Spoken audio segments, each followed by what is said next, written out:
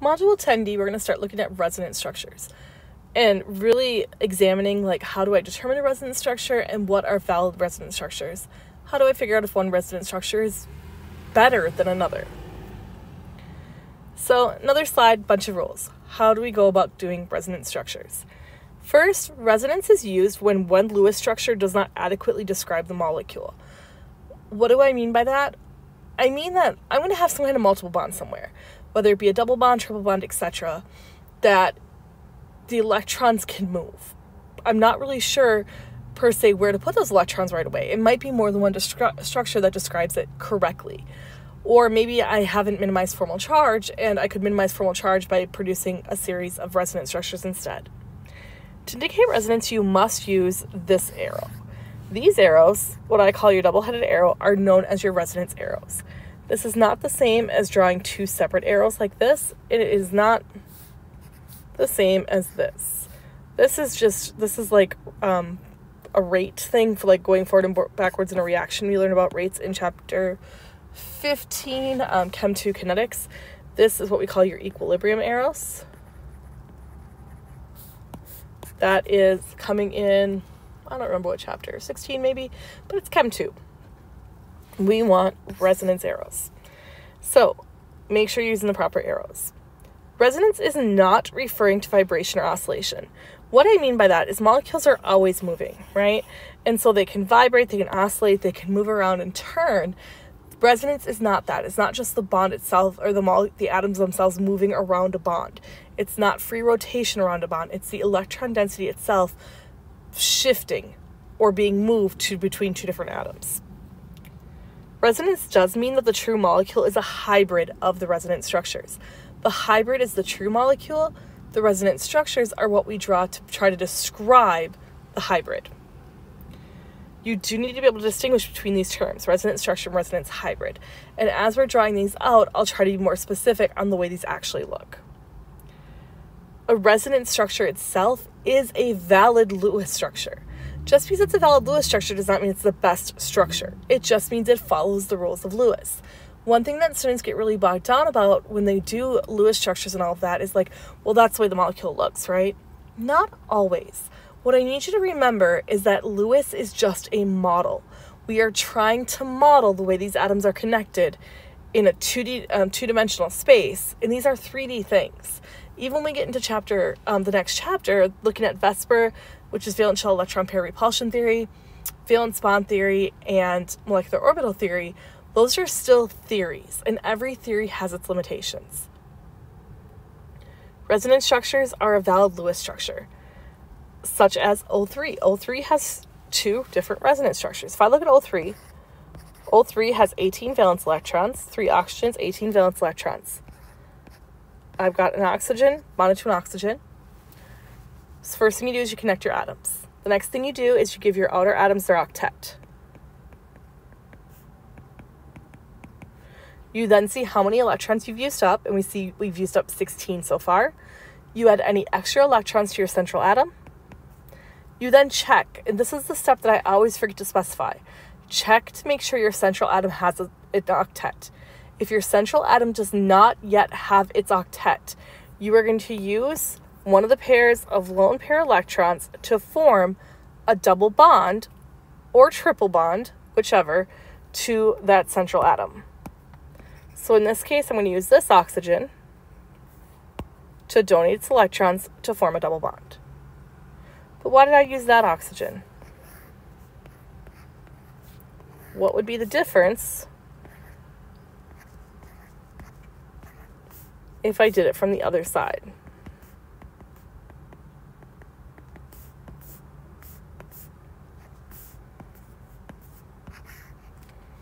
There's no difference. One oxygen donates. Now, if I do formal charge on these, if I look at the formal charge, oxygen, remember, with two bonds and two lone pairs, has zero formal charge. Two bonds, two lone pairs, zero formal charge. This oxygen in the center, remember, oxygen has six valence electrons. That central oxygen has two lone pair electrons, two electrons, one lone pair, and three bonds to it. So it has a plus one charge. In the oxygen on the end, six valence electrons, six lone pair electrons, and a single bond minus one charge. Overall, the formal charge is still zero. The overall formal charge of the molecule is still zero, which means it is a correct Lewis structure. But these are also known as resonance structures. These two structures both contribute to the true hybrid of the molecule. What I mean by hybrid is the way this molecule really looks.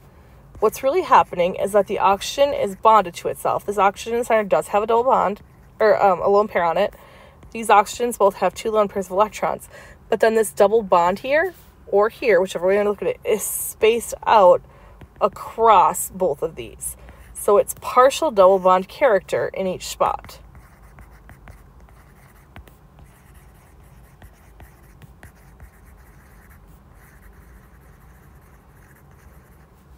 We say it has partial double bond character. And now this is just not a great drawing, but this is the best we can draw of the hybrid. What we say is that electron density from that double bond is delocalized. Delocalized meaning it's a spread across multiple atoms. The electron density, electron density is what's the attractive forces that's what's holding your bonds together, has been spread across multiple atoms. The resonance hybrid, is a mathematical mixing of all of your resonance structures.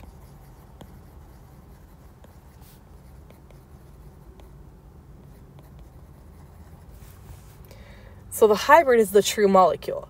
The structures are not. The structures contribute to the resonance hybrid.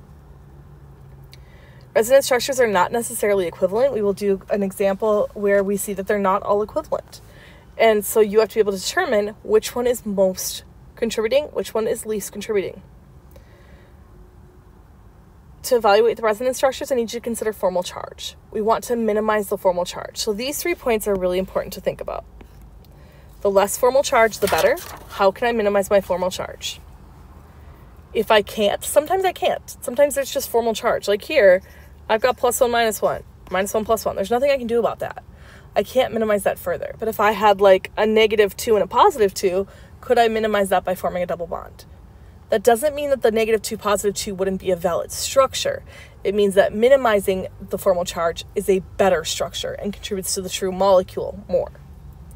It's usually better to have the negative formal charge on the more electronegative elements. Avoid like charges on adjacent atoms.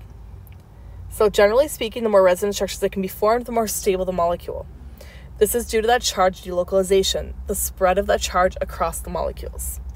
When drawing resonance structures, move only electrons, never, ever, ever move your atoms. The atoms do not move. So let's look at a couple examples. First, let's look at N2O. If I look at N2O, that's two nitrogens, so two times five valence electrons, one oxygen, so one times six valence electrons, overall 16 valence electrons. It does tell me here that nitrogen is a central atom, which is nice to know. That way I don't have to think about it. We'll put nitrogen in the center, and it's going to connect to another nitrogen and an oxygen. I'm then going to give my outer atoms their octet. 2, 4, 6, 8, 10, 12. 14 and 16, I have used up all of my resonance, or all of my electrons. Next thing I have to do is step number four from our slide about learning how to do Lewis structures make sure my central atom has its octet. If it does not, I'm going to use double bonds to form that octet. So my central atom does not have an octet and it does want one. So I'm going to donate some electrons. Now, I could pick them from here. I could pick them from here. Kind of do what I want here. So let's do one where each one donates. Let's say the nitrogen donates and the oxygen each donate. That's going to form this structure. One nitrogen donated a pair of electrons to form a double bond to nitrogen. The oxygen also donated a pair of electrons to form a double bond to nitrogen. This is a resonance structure though. Why did they each have to donate? Why couldn't I have said, oops, instead of each donating, why didn't I instead say nitrogen's going to donate two pairs and form two um, a triple bond here? Totally possible. It's not breaking any rules. That's completely possible. I still have used up 18 electrons, and my nitrogen still has um, my my terminal nitrogen, meaning the outside nitrogen, and my central atoms still have their octet. My oxygen still has its octet. But I keep wanting to write nitrogen center. Who's to say?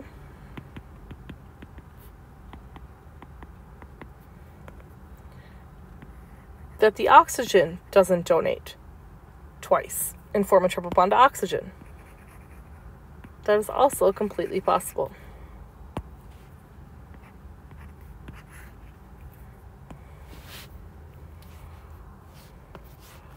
Nitrogen, carbon, oxygen, like double and triple bonds.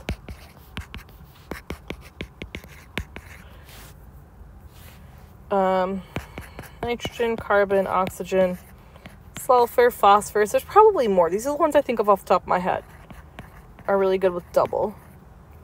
But I know nitrogen, carbon, oxygen do triple all the time. Not saying they're the only ones that do triple. I'm just saying they're the ones I can think of off the top of my head.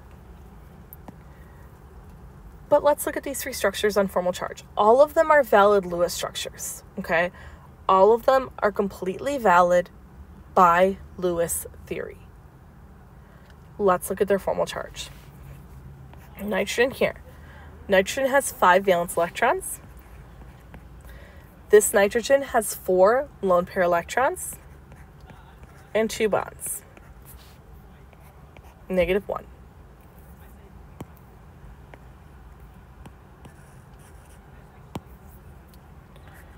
Nitrogen here. Five valence electrons, no lone pair electrons, and four bonds, plus one.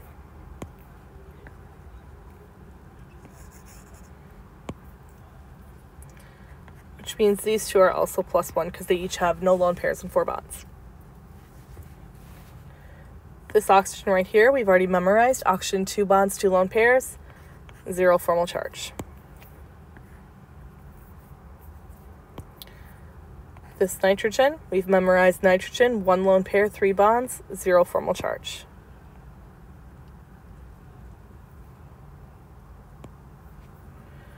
Look this oxygen here.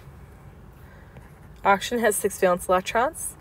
That oxygen has six lone pair electrons and one bond. Overall, negative one charge on that oxygen. This nitrogen here, five valence electrons, six lone pair electrons and one bond. Overall, a negative two charge. And our oxygen here, six valence electrons, two lone pair electrons, and three bonds. Overall, a plus one charge. So now I'm going to try to figure out which one contributes the most and which one contributes the least to the true hybrid. I'm going to do that by looking at the formal charge because all three structures are valid Lewis structures. That doesn't mean they're all the best though. We want the one that's going to, so remember when we're looking at that, we're looking at the less formal charge, the better. So how can I minimize my formal charge? Let's look at that first. Well, I've got a negative one, positive one, and a zero. 0, plus 1, and minus 1. So those are equivalent. And then over here, I've got minus 2 plus 1 plus 1. This is definitely not minimizing the formal charge over here. All three of these atoms have formal charge, not minimized.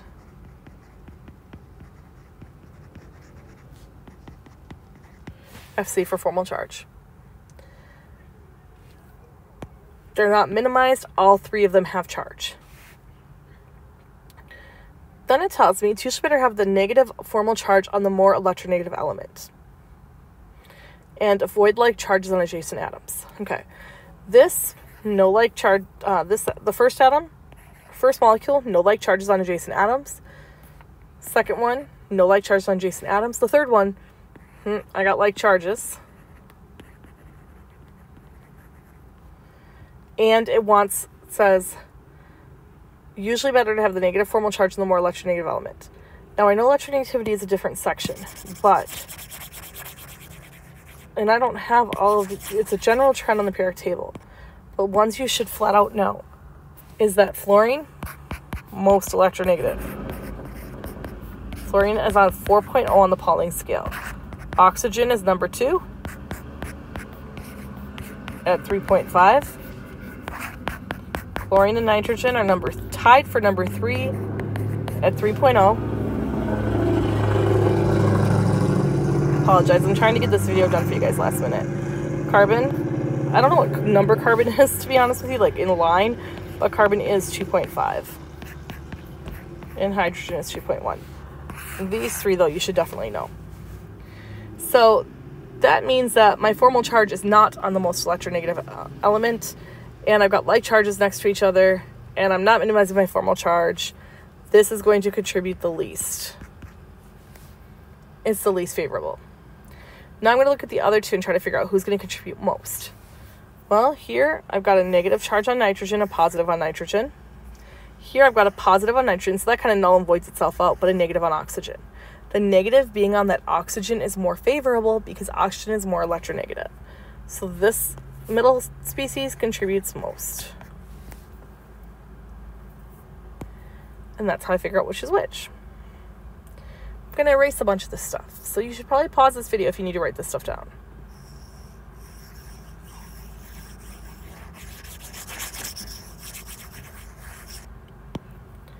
Let's look at sulfate. Again, what is sulfate? SO4 2 minus.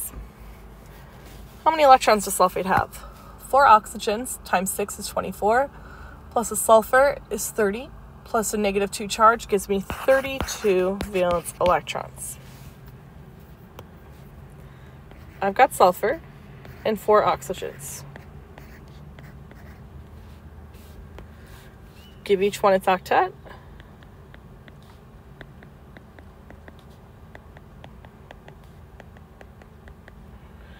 If I count it up right now, that is using 32 electrons. Check to make sure your central atom has its octet, and it does. That is a dot right there. This is a valid Lewis structure.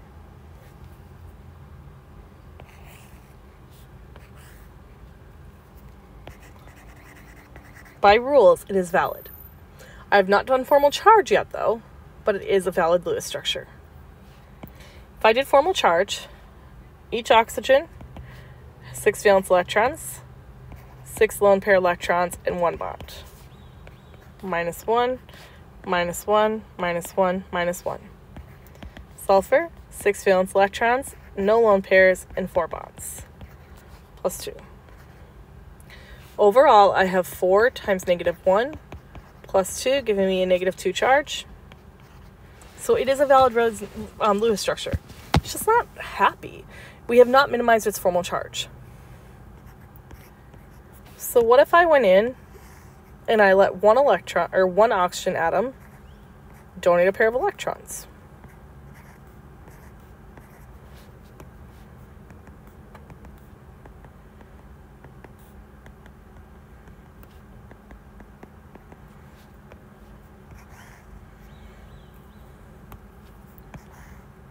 If I check, my all my outer atoms have their octet, my central atom has more than an octet, which is allowed for sulfur. This is a valid resonant, or this is a valid Lewis structure. Let's go ahead and figure out your formal charge. This oxygen on the top here, we know is zero because we know if oxygen has two bonds and two lone pairs, it is a zero formal charge. We know that these oxygens are all negative one because we just figured that out on the previous example, right? Six valence electrons minus six lone pair electrons minus one bond, negative one sulfur, six valence electrons, no lone pair electrons, five bonds, overall plus one charge. I've got three times negative one plus one, giving me an overall negative two charge. That is completely valid. But I could still minimize my formal charge. And this is where the rest come into play. I could have one more oxygen atom donate two electrons.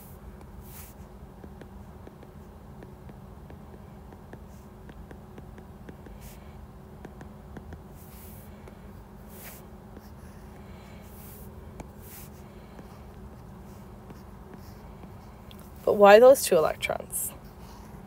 Or why are those the two oxygens double bonded? Couldn't another one do it?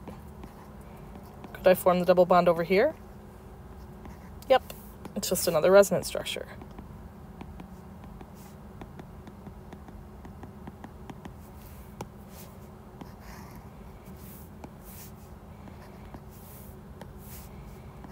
And I can continue that game, giving the double bond at any of the other oxygens as well.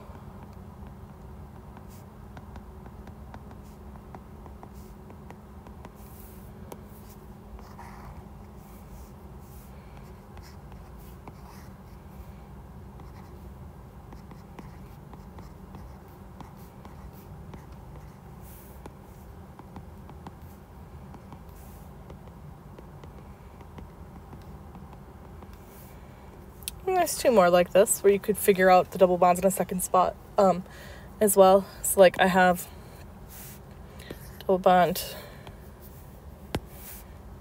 here and here, here and here, here and here, here and here. I could also have them at these two oxygens or these two oxygens. So two more resonance structures exist. All of those are completely valid. Now, what does that mean though? Why don't I give one more oxygen a double bond to the sulfur? Space, space limitations. Don't go more than six. Don't go more than six bonds to a central atom. It just doesn't do it. Okay? Up to six bonds, and this has six. Let's look at seeing what contributes the most though. If I looked at the formal charge of this, I know that an oxygen with three lone pairs and one bond has a negative one charge. I know that because I figured it out in the previous example. I figured it out right here, truthfully. I know oxygen, two bonds, two lone pairs is zero charge. And now the sulfur here, sulfur has six valence electrons, no lone pairs, but six bonds gives me an overall zero charge. I have minimized my formal charge. So if I was looking at this, I would say that these structures contribute the most. By these, I mean this one, this one, this one, this one, or the other two that I haven't drawn. They absolutely contribute the most. This compound contributes the least because I have not minimized formal charge. I have like charges adjacent to each other. I've got just, I do have the negative charge on the more electronegative element. I do have that going for me. But other than that, this is definitely going to contribute the least but it's still a valid structure. Now, the hybrid, the way sulfate is really going to look, is you're going to have that single bond to the oxygens and then a partial double bond character across all the bonds. So it's not that any two atoms truly hold that double bond in a resonance structure, it's that that double bond has been delocalized to spread that electron density across the entire area. Let's look at a couple more examples. Phosphate, sulfite, and nitrite. Phosphate, PO43 minus. We add this up. Phosphate has five valence electrons. Oxygen, there's four of them at six each, so that's 24. So we're at 29. Plus that negative three charge gives me 32 valence electrons. Phosphorus in the center.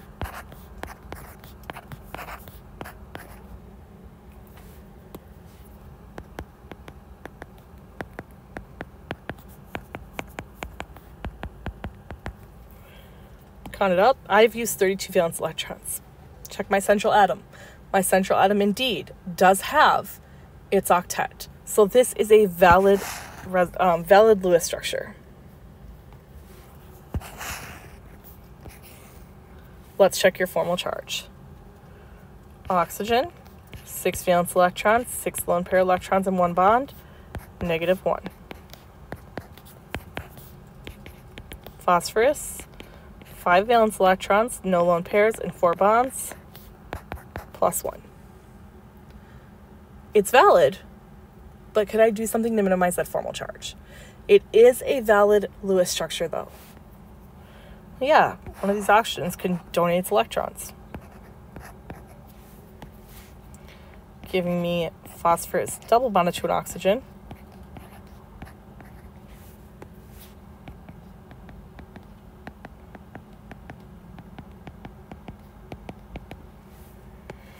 As another resonance structure. I always forget to write this. I either write it right inside or right outside the board, but your charge should go up there on your resonance structures, outside the either right inside the bracket or outside the bracket. If I look at formal charge now, I know each of these oxygens is negative one because I just calculated it previously. I know oxygen with two lone pairs and two bonds is zero. And the phosphorus has valence electrons of five and five bonds, overall zero. So while this is valid, this is better. If I look at sulfite, SO3 2 minus, sulfite has 26 valence electrons, 6 from the sulfur, 18 from my three oxygens, plus that negative 2 charge, I get 26 valence electrons.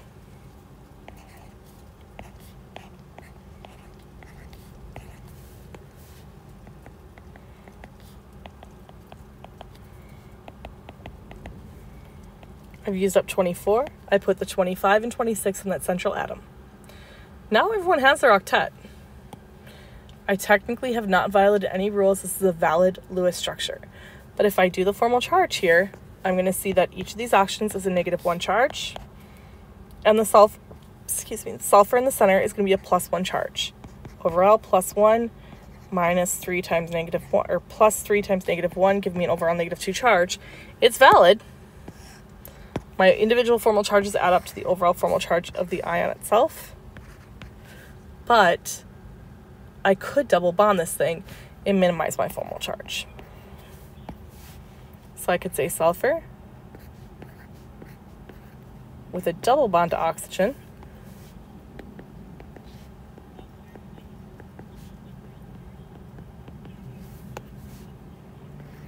Zero formal charge, two bonds, two lone pairs, negative 1, negative 1. And don't forget the lone pair on that central atom.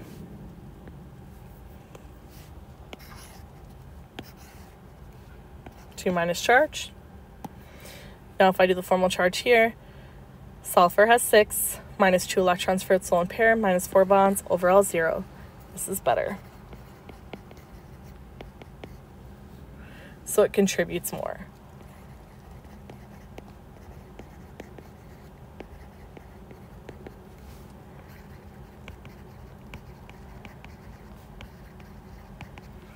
Lastly, my nitrite.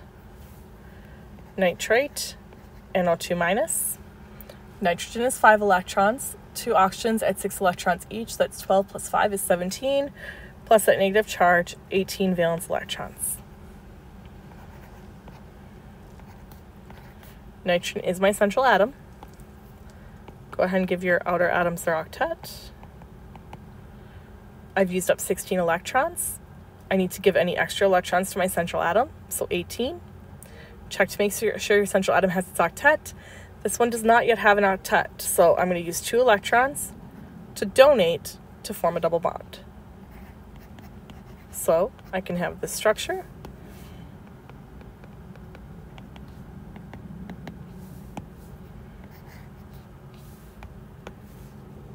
Excuse me.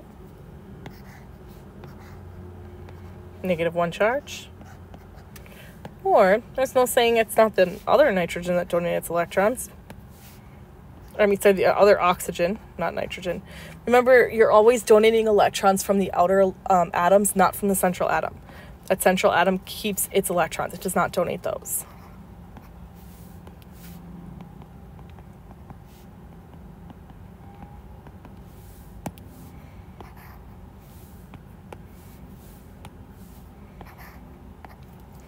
Now these are equivalent.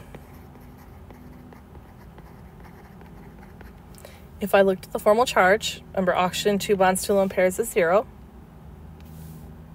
I definitely gave that oxygen too many lone pairs.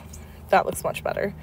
Please fix that. It should only have two lone pairs and two bonds. It can't have more than that. It's in the n equals 2 energy level. It's not possible to have more than um, two lone pairs if it has two bonds. But those are each zero make it look like a zero. Nitrogen, when it has three bonds and two lone pair, or one lone pair, two lone electrons, but one lone pair is zero. And oxygen, negative one. These are completely equivalent. There is no advantage to one over the other. So they both contribute equally to the true resonance hybrid.